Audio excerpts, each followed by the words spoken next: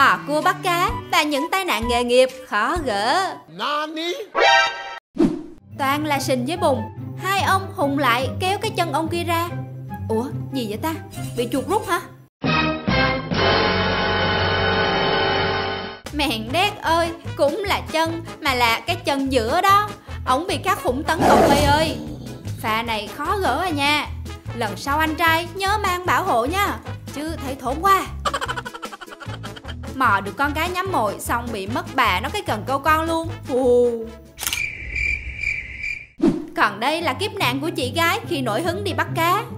Ủa ba ốm gì dưới gì nè? Ổn không chị? Thấy căng nha. Ây da Là một con cá trúc ép, Mồi câu này độc lạ quá. Con cá cũng lựa chỗ cắn ghê ha. Đúng là nước cờ thâm thúy. Đồ chắc tao chứ.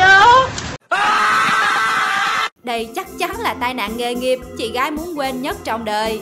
Đi bắt cá mà rén quá chừng. Mấy anh mấy chị nhớ coi ngày và mang bảo hộ kỹ càng nha. Kẻo tàn đấy.